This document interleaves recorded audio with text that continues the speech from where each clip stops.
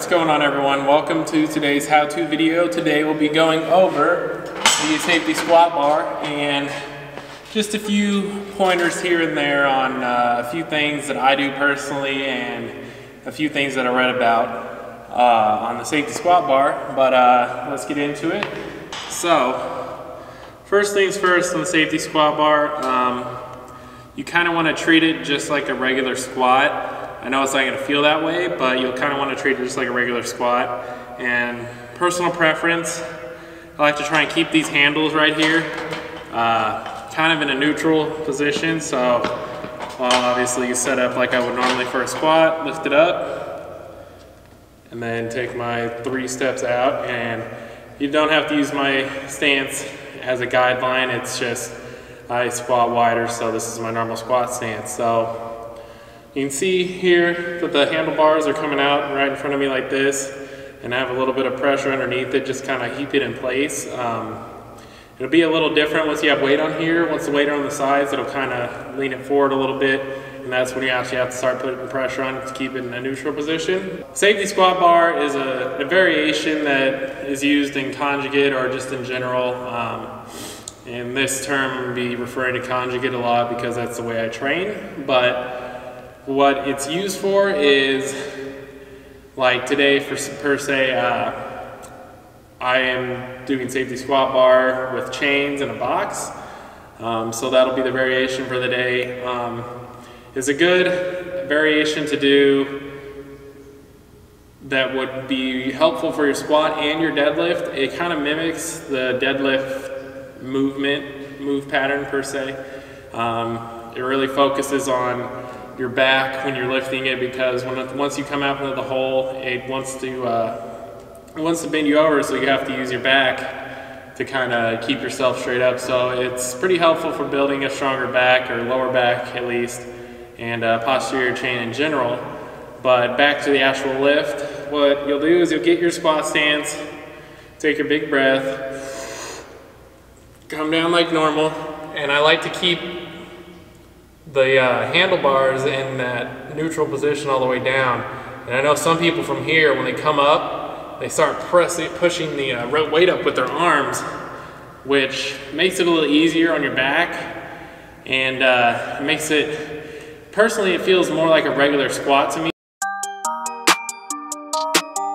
All right, sorry, we're back. My camera battery just died, which I should have looked at it once I turned it on, but I didn't.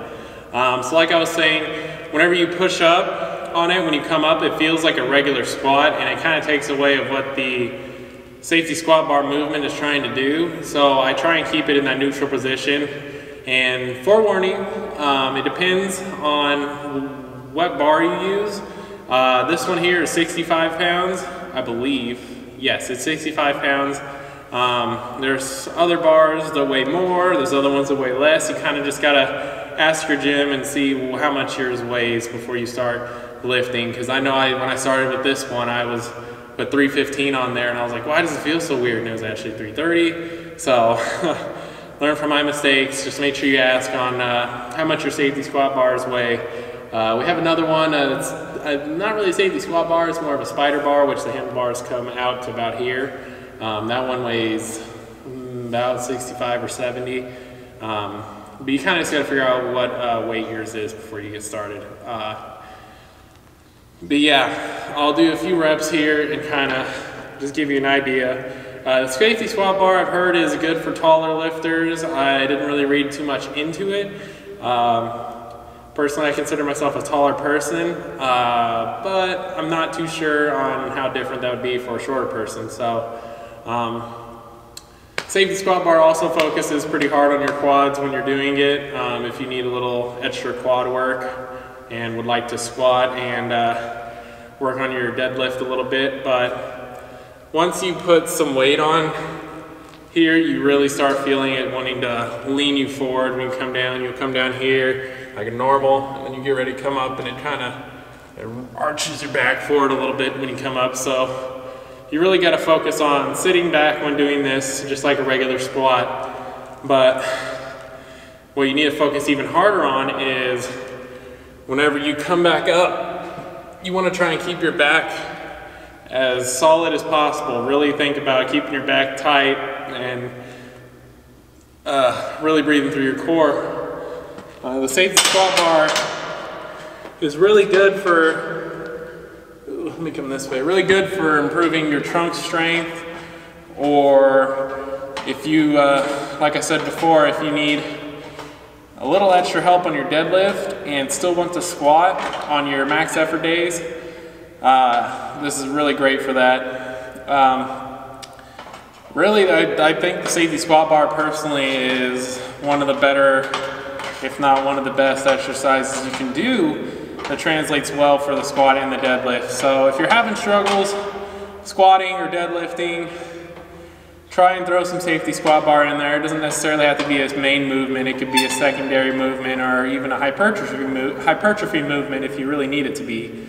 Um, so I'm going to just show you a few example sets. Uh, today I'm doing max effort safety squat bar to a just slightly below parallel box with chains added on the side. I'm not too sure on how much the chains will be yet, but uh, uh, you'll see a little bit of examples and I'll probably talk to you right after that and I'll see you then. All right, well, just got done with the warm-up slash pre-exercises before. Whew, just got done bot squat or box jumping, so I'm a little tired. but let's get into these warm-ups. So I was wrong, there's no chains today, but it is still low box and wide stance. So I already have a wide stance. This might just be the same.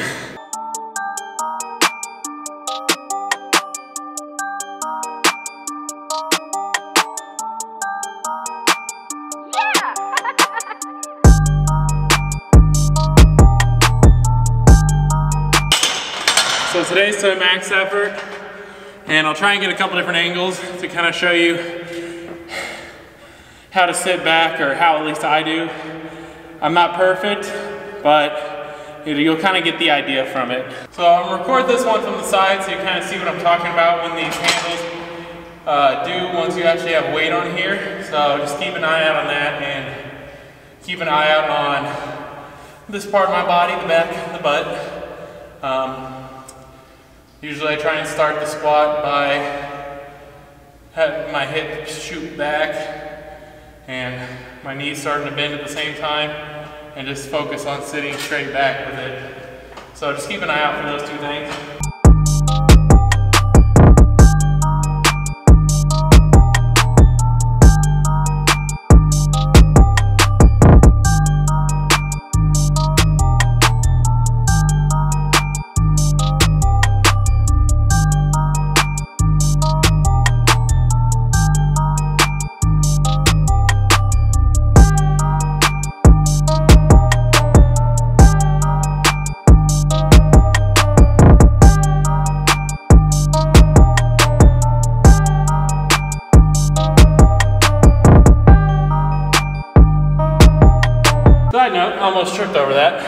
Don't do that, but kind of be on the lookout for a few little things that I do. I'm, and once again, I'm not saying I'm perfect, I'm not a coach.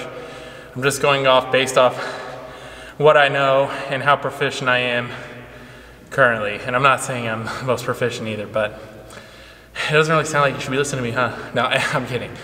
This is gonna be a good video. Um, just keep on the lookout for little things I do and I'll try and hop in whenever I have something to tell y'all. So as the weight goes up, you'll kind of see more and more where my form will break down.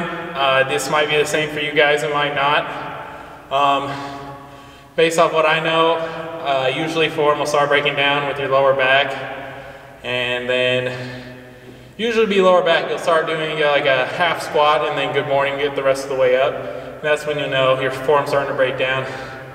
Um, when that happens, you really just want to focus on really keeping your back tight and focusing on keeping that as neutral as possible. So you might not see it here, but sooner or later you'll start seeing my back kind of start curving or turning into a two movement exercise. So it's going to be a max effort, so you'll definitely see some of that. But let's get into 225.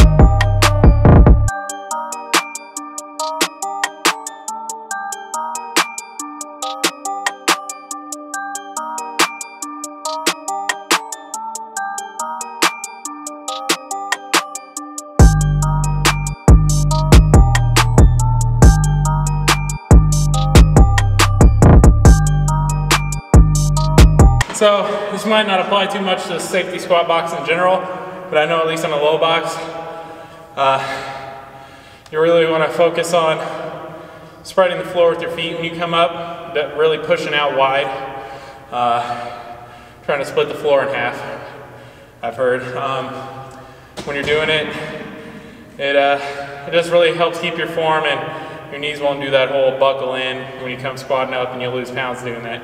Um, the first rep you might have seen some back rounding, not too sure, but I corrected that the next two or three reps. So like I said, you really just gotta focus on keeping your back tight and neutral during the lift.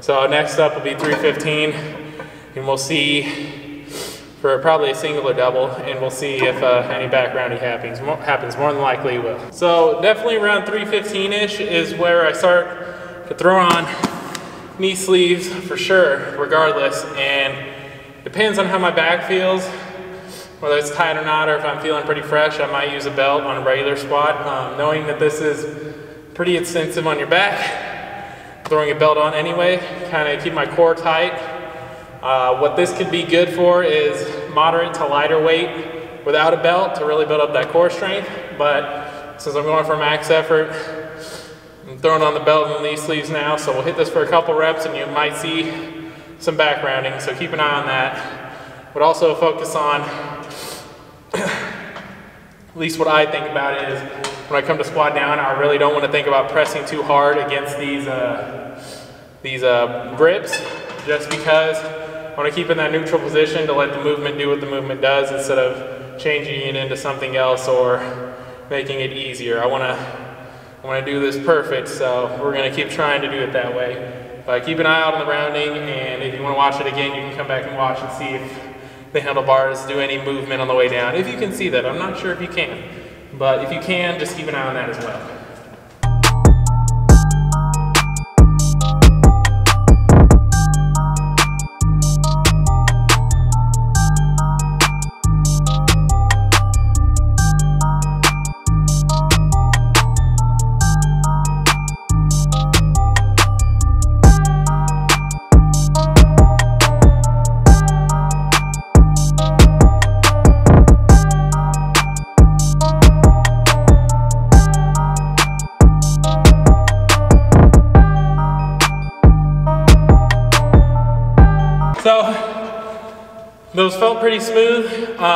You might have seen some form breakdown, I'm not too sure.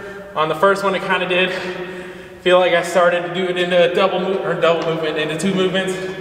So when I came down, I was here, and then when I came up, it kind of felt like I did one of these numbers. My my hip shot up instead of coming up straight up.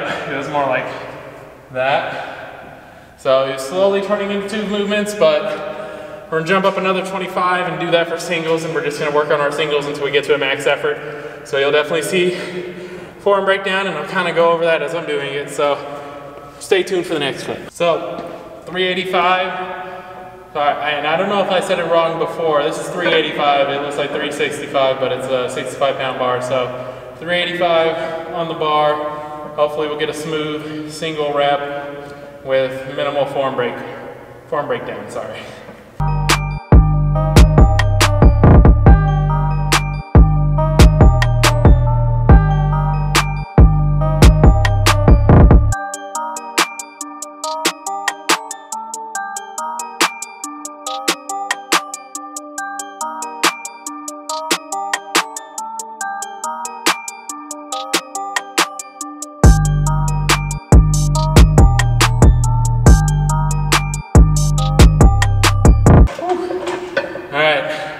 So when I noticed it was a little slow coming out of the hole, um, that's kind of to be expected with uh, the low box. Um, once I started to get it moving out of the hole, it kind of flew up. Uh, I'll have to go back and watch the video, but I'm sure, I'm sure it was way more noticeable there on the areas that were starting to get weak during the lift. Um, still felt pretty smooth.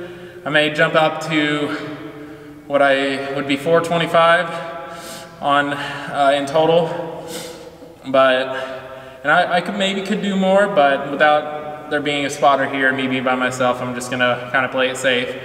Uh, that 385 was kind of a struggle, so we're gonna go for 425 and that'll be my max effort set for the day. So I'll see you guys in that clip and hopefully all goes well. So before I get into this 425 attempt, uh, first off I threw on the safeties because safeties over views. So if, it might, if it's in your way, I'm sorry, uh, but I'd rather not die tonight. Um, another side note I haven't talked about, I remembered it after my 385, but I forgot to mention it, is uh, I'm not really gonna get under the bar and explain it, but you're right here at the bar with the weight on, and once it gets a little heavy, it, it wants to, from the bars being out here, wants to be right up here in your chest.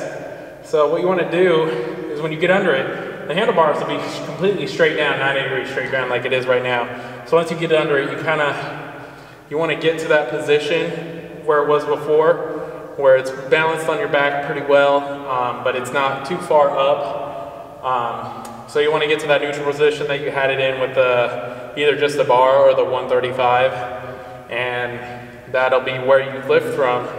Um, you want to be careful because if you push that too far forward and you come to unrack it, that, I mean, you, there's a good chance you'll you'll hurt yourself from it falling backwards or hurt whoever's spotting you from falling backwards. So you kind of want to be careful for that, but really you just want to get yourself into a good position once you get under. So I'll come here and then I'll like bend up to where I'm in my starting position for I want to lift off. So focus on that when you do that. And actually, I've had enough rest time, so I'm going to get in and do this. So this will be the struggle but we're gonna do it. So, and if not, it'll at least be a good learning experience for you guys on YouTube. Remember to always have a spotter, and if not, be smart with it. This may be a little risky, but I think we can do it. So, let's get into it. And uh, watch and see if you can see how I position myself under the bar for starting the movement. So come here, it feels like it's pulling me backwards, and what I want to do is get the stance I want to get in to lift it off, and then just come underneath. And you might actually have to readjust your feet, so I'll do that again real quick. So I'm here, this feels comfortable, right, but I can't lift off from here. It's like almost doing a, a quarter, quarter, a 1 8 rep good morning. So what I'll do is maybe even shoot a little far forward to where I want to start, and really get under and get set to where I need to. Um, before I start, but enough talking, we actually do the rep. So here we go.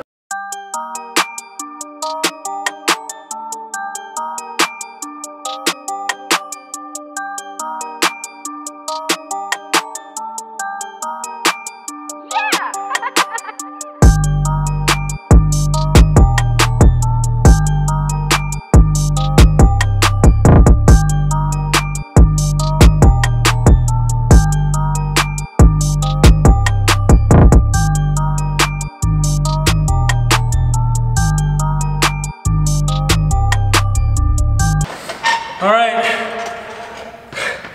Somehow we managed to not die, but oh man, that was scary.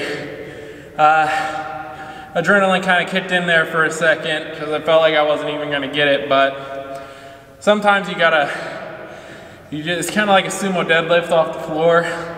When you start it, it doesn't seem like it's moving, and then once it starts going, it just builds and builds and builds, and you complete it. So, kind of is the same way on this. And like I said, it's good for the deadlift because it mimics the form. And I mean, it really does. it really does. Uh, so with, the, with it being wide stance to a low box, it's almost like imitating a sumo deadlift. So that's how, I, how it kind of feels coming from the bottom is like a sumo deadlift. I feel like I'm pushing, pushing, pushing, and it's barely moving, barely moving. And then once it gets started, it just comes right on up. But just like on a deadlift, on a heavy deadlift, your back will start to fail, just like it did there. And I felt it really bad. Um, and you probably seen it on the way up once I was maybe like six inches, five, six inches off the, uh, the box. I really felt it on the way up and I could feel that my back was starting to give out. So that's what the safety squat bar is really good for is uh, strengthening your back and I know my coach is probably gonna see this video, so I'm sorry in advance. I tried really hard to keep my back in, but May have overshot the max effort, may have not, we'll see. But that's what the safety squat bar is really good for, and that's why personally I really like it, and I'm glad it's programmed into my programming. So that'll be the video for the day. Hopefully it's not too long and it's something that you guys can watch to the very end.